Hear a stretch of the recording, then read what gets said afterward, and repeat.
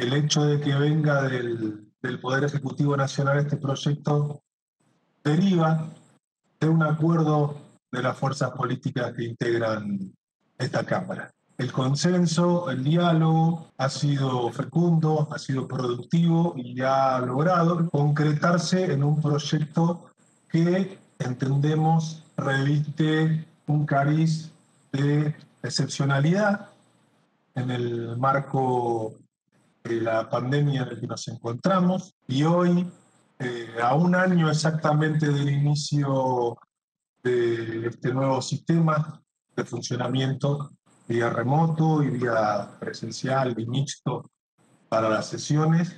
Tenemos, eh, entiendo, una gran responsabilidad de ponerlo en tratamiento. Este consenso permite ganar tiempo, de eso se trata. Tiempo a la pandemia, ganarle cinco semanas y permitir que el proceso electoral no se desarrolle en, la, en los meses en que se incrementan las enfermedades infecciosas agudas y los virus respiratorios.